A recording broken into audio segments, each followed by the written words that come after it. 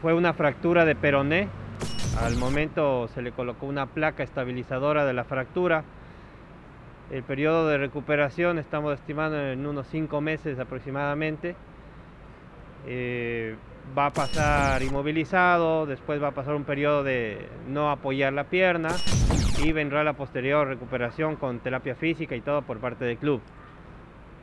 Se, le va a dar el, alta el día de mañana, el día de hoy se va a quedar aquí hospitalizado por anestesia, por control del dolor, eh, pero bastante bien, bastante bien la cirugía.